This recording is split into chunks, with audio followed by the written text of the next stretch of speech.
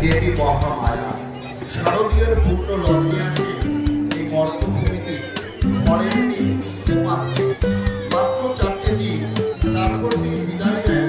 বিজয়ের করুণ সুরের মধ্যে দিয়ে। তার